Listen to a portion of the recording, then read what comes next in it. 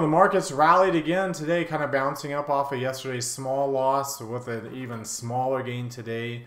Uh, so this is my last market outlook that I'll do here. I am out of town uh, for the uh, next couple of weeks. I won't be back until two weeks from yesterday. Uh, so, so this will be our mar last market outlook until October the 29th. There have been some questions I've been getting. I see on YouTube and, and on Twitter as well about our Black Friday sale. We are uh, having our Black Friday sale again, like we always do, uh, for uh, for our uh, premium services um, associated on our, our, subscriptions on our website. So uh, be aware of that coming up. Uh, that's coming up obviously in a couple of months towards the end of November, but just kind of be aware of that and answer some questions there. Um, obviously, I will be back well before that, a month before Thanksgiving. Um, but I will be out for the next couple of weeks. It didn't go so well last time I was gone uh, in Africa here at the at the end of the summer, um, there in July and August. Uh, I don't think we'll have a repeat of that, though there are some patterns that would suggest we are close to the end of this intermediate run. Um, it doesn't necessarily suggest that we're going to get a deep intermediate decline, um, you know, to the tune of 10% or, or close like we did there, right? In the end of uh, July, beginning of August, we actually almost had a 10% drop there. So it doesn't necessarily suggest that, but I'm going to show you what those patterns are uh, and kind of suggest, okay, like, you know, what do we need to see over the next couple weeks to, for our best case scenario, which might not be, you know, that great of a scenario, but it's, you know, at least it's, uh, it's a good grind to the upside and then what you know what would change and what would signal us into you know the beginning of this intermediate decline however long and however small that might be um, by the time we ultimately have that. So i don't think we'll be into that by the by the time i get back um, but we'll we'll talk about some signals and talk about some things that i'm seeing uh, that would suggest the possibility of at best a grind higher and at worst the beginning stages of what right now looks like would just be a kind of a minor uh, intermediate decline. So we'll take a look at uh, the breadth, we'll take a look at the rotations, uh, all the things that we typically look at that kind of are leaning me in that direction. And then we'll take a look at a trade idea today that a stock that's been in its own bear market for the last year or so, and that looks to be itself to be kind of coming out of it. So we'll talk about how, to, in a surprising sector no less, considering how things have been moving, working the last couple of days. So we'll talk about how to trade that. So let's go ahead and get started. Today is Wednesday, October 16th, 2024. This is the Market Outlook from MarketScholars.com. My name is David Settle. Before we get going too far, I invite you to subscribe to our YouTube channel. This icon here, the red subscribe button down below. Click the thumbs up icon to like our video. Comment on anything that stood out to you today. Uh, join our website at MarketScholars.com for free. Follow me on Twitter for more content between the videos. And join our Market Outlook Facebook group that we've created. Alright, if you're watching us here on our blog, check out some of these other things over here on the right, including our Market Outlook live videos, where I take a look at old Market Outlook trades, see whether we should stay in them, get out of them. Uh, we've closed out a few of these over the past couple of days uh, in that class. We also put on today's trade before the market close. Come down to the bottom, click this heart, it opens up this tab. Hit that like button there. Same thing here, click on this thumbs up icon, it opens up this tab. Uh, scroll down to today's Market Outlook, hit that like button there. Again, the more you do that, it helps get our content out to all of our followers on those platforms. That's why we always ask. Uh, so thank you to those who do that day in, day out. Those who don't, you can do it right now while you're watching with one or two really easy clicks. All right, let's start off taking a look at the market forecast with the uh, on the S&P 500. You can see the nice little bounce we had today coming off of yesterday's little tiny engulfing pattern there. Um, the intermediate line still in the upper reversal zone has been for this past week. Market sentiment line has now slowly crept up and crossed above the 80th percentile itself. Um, the momentum line, which was oversold uh, yesterday, without the near-term line actually being in, uh, you know, below the 60th percentile, um, but was oversold. It was a good sign. We talked about this in our market outlook, or excuse me, in our in my directional option strategies class uh, with market scholars. That it's actually a good sign that a pretty good chance that we won't get the drop on the near-term line down because it's already oversold without you know, being below 60. If it would have been below, say, 40 or at least below 50, then we'd be a little bit worried. Um, but that's actually a really good sign, especially if it was like a lot closer, if it was like, say, down below the fifth percentile. Um, so, but it bounced up, the momentum line bounced up. Uh, today. The near term line dropped, but just barely below the 50th percentile. So we're set up for you know another near term bound. This is day one below the 60th percentile. The momentum line's below it, but it's not very low, and, and most likely we're going to get a bounce back up on this near term. It would have been better earlier today. The near term line was actually down below the 40th percentile, it was like down here, and the momentum line was like just you know similar to where we were yesterday. So we were actually set up for a really good short-term bounce. Um, that that could have you know really set us up for a good week, week and a half. The week that I'm going to be gone, right? It would have set us up for a good bounce off of that. So we'll see, you know, how that plays out here. Uh, ultimately, by the time we get to um, you know, the end of next week, uh, when I'll ultimately be getting back. The you know you can see the Nasdaq 100 looks very similar. Um, it's a little bit more bearish short-term sentiment on the near-term line, but the momentum line never did really get oversold. So again, you know, no real significant concern here. The day one of us being below uh, 60 on the near-term line, the momentum line was barely oversold. And now you can see the near-term line fell day two, but it did not get below 20, and the momentum line is already crossing up above it. So good chance it will probably bounce off of this and continue to move higher as well um, and maintain the strong bullish posture as you can see both those indexes have. Very big bounce. The Dow actually did uh, get down to extreme lows, but again, without the near term line even getting below 60, it's not that big of a concern. And we see, you know, we see that today. A, a nice little bounce from extreme lows in the momentum line, and, and there we go. We're right back at it. The Russell 2000, this is the one that really had the big move. It's up more than uh, 1%, one and a half, about one and two thirds percent here the intermediate line, which had not been uh, as bullish. We got these bull tags. Um, but then, like at the beginning of this week here, right? Uh, well, it was actually last week, last um, on October the 11th. It really kind of took off, and you can see over the last four days, the Russell's been really killing it. And today, and again, it reminds me of what happened back in over here, um, back here on this particular month, on July 10th.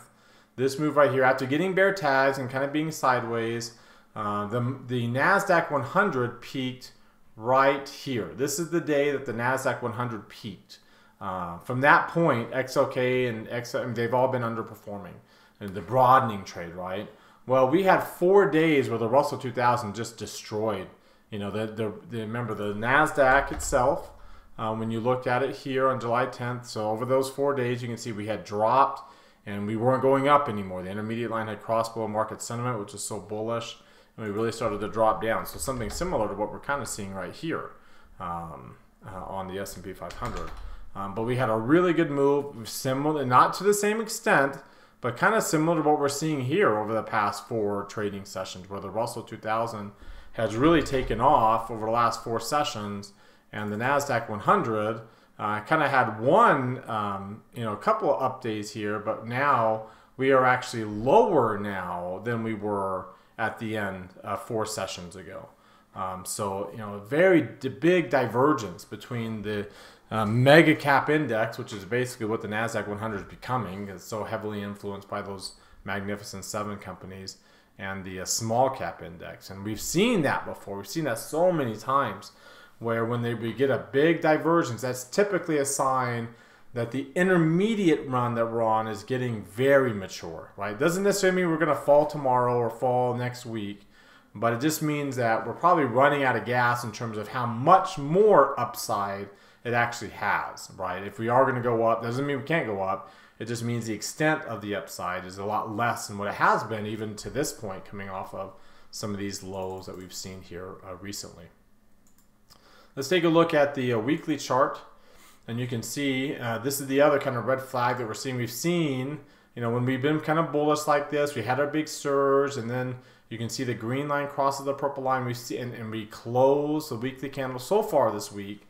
Um, I kind of, I, I, kind of think that this is Friday because I won't be here the next couple of days. But so far this week, you can see the Heikin Ashi close is a pretty decent sized body after a couple smaller ones, and then, um, and we're closing above the high of that body. But when you look at the actual candle itself, the actual candle is really small. We've seen this before. We've seen this happen lots of times before. Uh, just recently, we saw it happen over here, right, where we were kind of, we had our surge, we've been kind of bullish, we had some smaller bodies below the average, and then boom, we had this surge.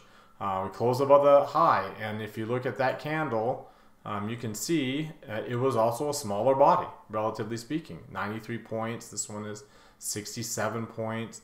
Uh, we saw it again over here on, on the uh, 325, 318, 325, as well as over here. Um, excuse me, over here on July 24th, right? That uh, uh, that week there. So if I were to look at the Heikin Ashi candles, you can see a big body here, um, July 17th, July 24th. Uh, same thing over here, some bigger bodies. They all turn eventually into transition candles. So if you look at this 715 candle, you can see it was a pretty bearish candle. There's your transition candle. There's your transition candle.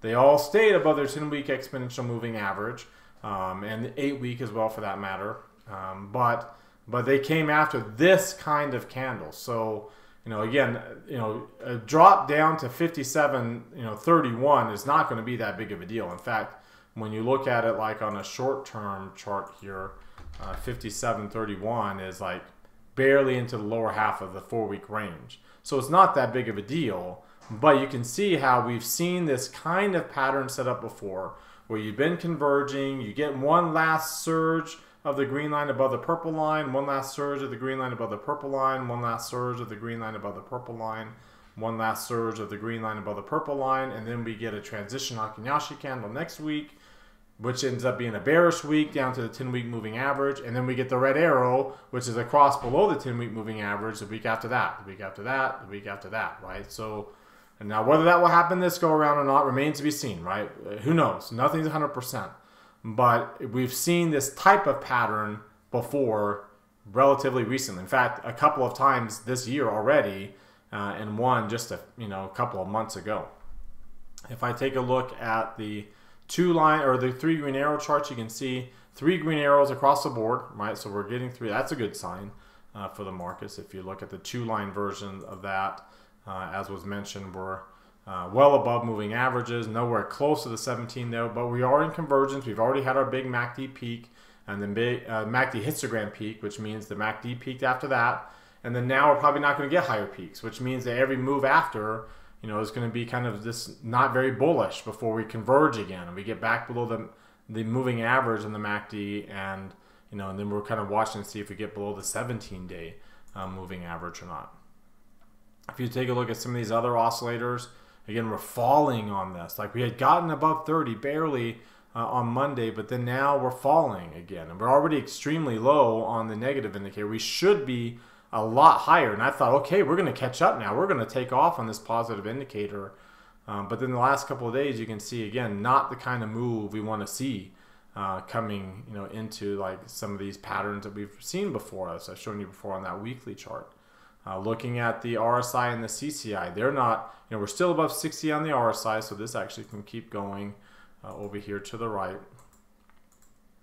So we'll go to today there, and this can also keep going for that matter over to the right. So I mean, these are nice little trends that we've been on here for a while. We're still bullish. We're nowhere near. See, the green box in the bottom doesn't come off until we get below minus 100, which obviously we're nowhere near that.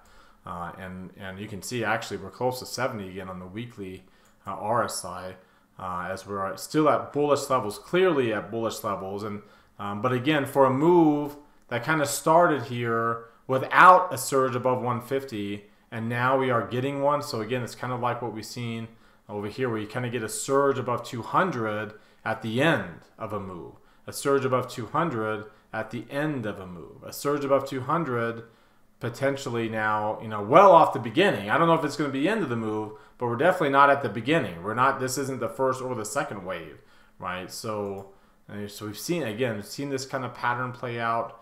Uh, looking at the um, Ichimoku cloud, you can see we are mature levels. So we are above 5 and above 80. So that's actually a pretty good sign for that. And then you can see on the Bollinger Bandwidth, we are you know really pushing up against that upper band. It's a lower, it's a very, very narrow bandwidth that's inside of the Keltner channel still. So it's not only a narrow bandwidth, but it's also a pretty narrow Keltner channel uh, as that momentum is actually declining and we have the red dots there. Uh, so we are in the kind of maybe a longer term coil um, with you know with that bandwidth as low as it is. So we are setting ourselves up for a move, uh, one way or the other, to kind of break out uh, of this pattern. If you take a look at the intraday chart, you see that as well. The range has really dropped off and it's going to drop off a little bit more. So like right now it's over here. The low point is going to get up to here. So your Aroon indicator, your red line is going to really jump up tomorrow. It's not going to jump up to 100 unless we get a new low, which is very unlikely. Um, but you can see like it pretty much will move the four week range up to last week's low. And the four week, the high is barely above last week's high. So you know, we have a very, very tight range. We didn't get a new high today, and we'll kind of watch that green line to see if it ultimately drops below 70. Um, but we are very susceptible. We are coiling, and whenever you coil, you are very susceptible uh, to a breakout in the wrong direction just because it's so much easier now than it was, um, you know, just for visualization's sake. It's so much easier now than it was here, um, you know, just a little bit ago because we moved, the, look how much this channel has moved up. We've moved up so much from here to here, and we haven't really gone up very much on the high point to the compensating. So as a result, you know, we've really dropped down from what was a really big four week range to a much smaller. We popped up again a little bit, but now we're really, really extremely low uh, on this range.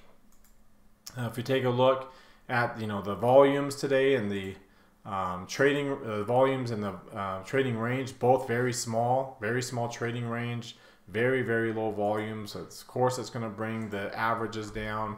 There's your average volume levels there.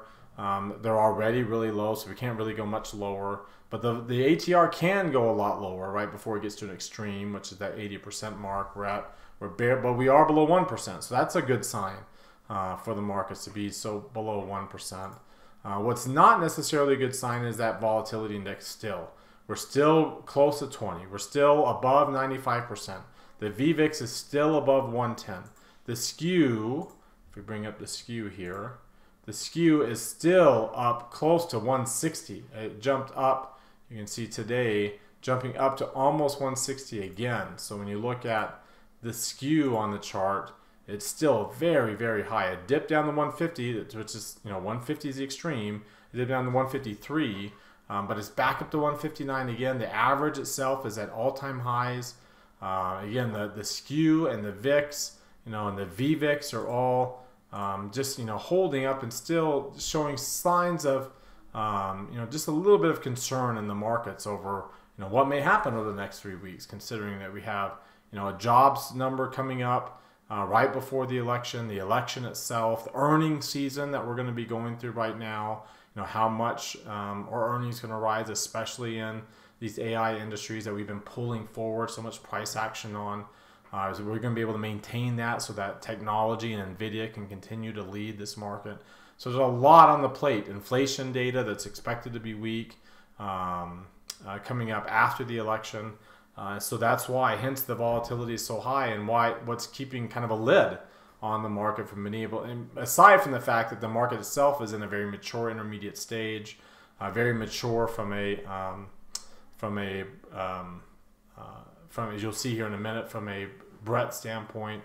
Um, so it's kind of all of this is kind of keeping a lid on the potential uh, for the markets to continue to really extend higher instead of just at best just kind of grinding its way with small moves and small gains to the upside. All right, now let's take a look at what's driving this price action. So let's take a look at uh, just today, and then we'll zoom out to, uh, to the week uh, so far. Um, so we'll come here to just today first, uh, and we'll go to this five-minute chart, and you can see again, commodities still lagging. You know, still the biggest underperformer. Didn't go down very much on an absolute basis, but lagging behind everything else. Look at that big move higher in IWM. Huge move to the upside. Not nearly as big of a move on the Qs, which is a little bit of a red flag uh, for today's move. Gold is doing well, uh, which is also a little bit of a red flag. And bonds are doing well, which is not, and the dollar. So yeah, in fact, you had all three safety trades, include real estate too, if you include that. But all three safety trades, the dollar, gold, and bonds all uh, above, all outperforming the Qs. Uh, not only above zero, but outperforming the Qs as well. Uh, emerging markets doing okay. Again, you know, you wonder a little bit without the lack of commodities. Usually those two kind of go hand in hand, and when they don't, it makes you question a little bit. In this case, the in one or the other, right? Either commodities are artificially lower, or emerging markets made a little bit of move. And again, that big move we've seen IWM make big moves um, without uh, the Qs, right? And and generally that happens towards the end of these intermediate declines. Famously in November, right, or excuse me, in July. The last time we really saw that uh, was after the Qs peaked on July the 10th. Uh, right, remember the Qs peaked on July the 10th, so that would be right uh, here. Um, the last, well, a 1% gain to the upside. The next day it dropped 2% and then was down over the next few days, another week or so, uh, down another 3% there. IWM, on the other hand, on July 11th, uh, right here. So again, the same day that the Qs dropped 2%, IWM rallied 3% and then rallied again for the next week uh, while uh, the Qs were dropping. And, and again, we know what happened. That ultimately led to the intermediate decline. So I'm not necessarily too gung ho about that move. In fact, when you look at the uh, ratio chart here, if you look at the ratio chart of the Qs uh, relative to IWM, remember it's been flirting. There's copper relative to gold. That's not a breakdown we like to see because again, this is associated with risk appetite. That's not the kind of uh, breakdown we want to see there. Uh, if you take a look at uh, the Qs relative to IWM, again, that's a big break, right? We had broken below the 200-day moving average yesterday.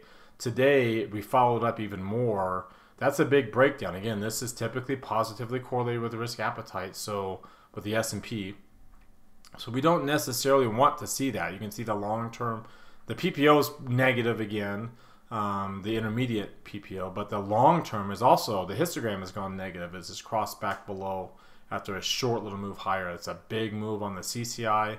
Uh, you can see the, the the DMI as a crossover there, and then of course your RSI uh, breaking below 40 today. So you know, again, not the move. So again, something similar would be like looking at the high beta, S&P high beta relative to the low volatility stocks. And you see something similar.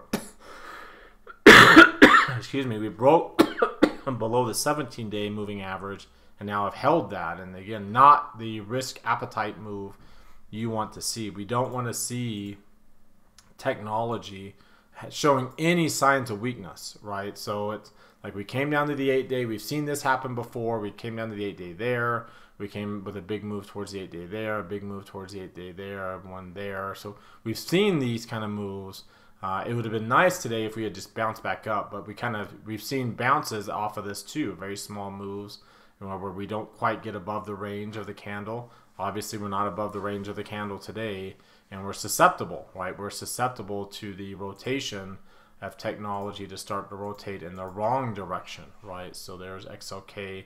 XLC is already moving in the wrong direction. XLY is already moving. XLU, which has been tied to the technology through the AI trade, you know, the, the energy, uh, providing the energy needs for these technology companies, it's moving now. So, so it looks like the XLK is starting to rotate out of favor. And again, that's typically a sign that we've seen before. Again, there's your uh, July 10th peak right there. Uh, and then we rolled over, right? And we had that big move on July 11th, very similar to what we got yesterday, right? And when we get that these kind of big candles like this, after a bullish trend, we get these big candles, kind of quasi engulfing patterns on the ratio chart. Uh, we've seen what happens afterwards. It typically leads to a slide, and again, this ratio is also positively correlated with the S&P through you know risk appetite and and it's not something we can see that you know like the the beauty of um, of the IWM outperforming is it's a broad trade. Like the breadth is really good. We're at 400 with the number of stocks above the 200 day moving average. We're close to 400 on the number of stocks above the 50 day moving average. The number of new highs um, has been up to a de- decently high level. It's not going to be 371. As you can see here, we're at 251 right now, but still 251 is a pretty decent number. Um, it's above the average. The average has been declining to 214, so we've had a nice little pop um, here in the last couple of days uh, on the breadth. Maybe too much of a pop, right? Because yesterday we were at, uh, which is correct, 294, so right over here, and then we're going to be down to 251, still up above um, the average, and but it's been a pop and and you can even see it on the new highs and new lows. We really popped up close to 600 uh, yesterday, the last couple of days, um, with the breadth already as um, as extreme and mature as it is, uh, when you look at the breadth um, here. So when you look at the breadth here and you see how extreme it already is, already close to a thousand. So it's not like we can turn up from here with new positive breadth and start a new bullish trend um, because we're already so extremely high and uh, we're lacking the money flow to support the move, right? The money flow is is below bullish levels. It's not in the bearish territory yet, um, but it, it's out of the bullish territory levels. And so, you know, we're not getting this nice, good bullish move. Uh, we had some good volume to support it initially, and since we peaked, which typically happens, uh, we start to, you know, grind lower. In fact, this ends up being, you know, a divergent peak right now because obviously we got easily higher highs in the index, but we got much lower highs so far because similar to you know other times that we've peaked and diverged uh, on this index before eventually falling into the lower half of the chart uh, down there. So so you can see the rotation is not looking very positive, and and you can you see that as well as was mentioned uh, in the technology sector. You look at October 16th, uh, um, and you can see uh, the underperformance of technology. Staples is down, XLC is down there, so that's you know it's usually discretionary that would be down there, and it's barely outperforming. And there's your broadening trade, but only because we're on a day of decline um, of risk off, essentially more so than risk on. Here's the week so far that was, and it's been pretty much since yesterday, especially the last two days. Let's just zoom out to the last two days here. Um, you can see like technology is down two percent, energy is down two but you got your safety trades up here with with financials and this and your consumer stocks doing okay with materials there too. Uh, but your bigger leader, is, which is what you want to lead to the upside, is not leading, and it's hard for the markets to maintain bullishness. As you can see, even with all these bullish sectors, it's hard for the market to maintain bullishness if the leader is going to start dragging it down. Eventually, it will drag all these others down too uh, to below this black line. Maybe not the safety trades, um, but that's why they are what they are, right? Those safety trades hold their value much better, as we've seen since that July 10th peak, right? If I were to go all the way back to the July 10th peak in technology, uh, from that time going forward, you can see how these sectors have held their value better during the declines. XLK has outperformed during all these rallies, but because of this decline here, where we fell the most, because of that decline there, where it also fell the most, and because of currently the little little tiny bit of decline we've had the last two days, it's fallen the most. So it falls the most, whereas these sectors hold their value during the declines. You, you know, you see during this decline, it was actually up, not down, but it was up. Same thing over here during that decline. It actually went up to higher highs during this decline, and and so again, safety is is holding up well uh, because they had been such underperformers going into this, right? If I were to go all the way back to the Halloween low points, it was actually, I think, the 30th, the 27th where we hit the low uh, last October. Um, but you can kind of see here, let me just put it to a daily chart. Uh, you can kind of see technology was kicking butt up to that July 10th peak, and all these other sectors down here, real estate and, and uh, utilities, they were lagging so far behind and now they're doing a big catch-up trade uh, while technology you know still is an outperformer. And some of these others have caught up too and communication services up there. But now they've really made a big catch-up trade here um, uh, to catch up while we've been going through some bouts of volatility. The nice thing is that again discretionary is actually held up. Consumer stocks have held up okay this week. Discretionary held, has held up okay this week. And that you know, again, this kind of goes into our trade idea. All right, well, that brings us to our trade idea of the day. Let's take a look at Lululemon. Uh, you can see uh, it's got dark green shading and a green line on this market forecast chart, so that's nice, right? We're moving close to the 90th percentile, actually. So good move higher, the highest we've been in months on Lululemon. So very good move, good short-term sentiment move. The momentum line, second time it's been up here uh, since this, you know, since the end of this decline. Uh, 10% up above the moving average, which is 82nd percentile. So it's a pretty good number, not too oversold. Market sentiment, you know, cro crossing above out of the bullish territory for the first time in a while. So you can kind of see how the trend, you know, is kind of changing uh, for the stock. It's grinding higher here, if I can type in the right symbol. There we go. starting to grind higher. You can see a nice good uh, pattern, multiple transition candles, closing above all these highs. Uh, this week's uh, Heikin-Ashi close, obviously the actual close is 294, so it's actually a little bit higher. Um, but you can see the PPO is starting to rise from very low levels. It's a pretty decent sized candle down here. Uh, if you take a look at the three green arrow chart, obviously you have three green arrows. Have had three green arrows for about a week plus. Uh, pretty decent volume lately, above or slightly above average. We'll end up slightly above average today. Uh, if you look at the two-line version of this chart, uh, we are below that 200-day still, but we are starting to fill in that gap between the 200 and the 50-day moving average. Solid base of support down below us there. Uh, if you start looking at some of these other oscillators like the DMI, uh, all these other oscillators are going to show some bullish patterns, right? You're above 35, above well above 30 uh, and below 20, so your ADX is rising almost above 25 itself. Um, looking at the each, uh, excuse me, the RSI and the CCI, you can see we're above 60 on the RSI, well above 100 on the CCI. In fact, if you look at the weekly CCI, we're easily crossing the 100 level on the weekly CCI for the first time again in months. So, you know, the signal for a new trend to begin there. Uh, if you take a look at um, the uh, each they see the um, the cloud, the Ichimoku cloud. Sorry, there it is. It's down here. There we go. So we are above the cloud now, right? We've been below the cloud for a long time. We're above the cloud. We have intermediate strength trend. Again, we haven't had for months. Uh, so that's a good sign as well. Uh, looking at the Bollinger Bands and the Keltner channels, we are crossing above both the upper band and the upper Keltner channel with the band itself also crossing up above the upper Keltner channel. So very good bullish breakout move again that we haven't seen for a long, long time. Um, and we kind of did, we came came close to it on the last kind of hurrah before earnings, and then it's been down ever since. So it looks like we're starting to trend a little bit higher here. So what I decided to do was to do a bull put spread. So sell that that 40 delta, uh, buy one strike away. It gives me about a, um, you know, what a well more than a 30% return on risk ratio for a bull put spread. Um, again, we're usually looking for about $230 on on a thou, on a $10 wide spread like this. We're getting 370, so a really good return on our risk. Uh, and I and I'm okay with being relatively more aggressive than normal because again, this is you know more of a higher probability trade as it is. Uh, less return, uh, a little bit more risk, but I like the fact that our risk is actually less than normal. I normally put $1,000 here.